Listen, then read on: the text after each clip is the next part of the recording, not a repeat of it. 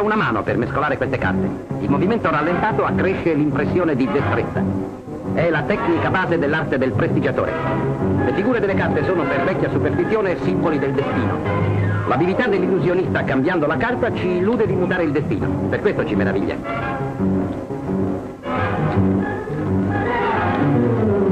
Qui si lavora a carte scoperte.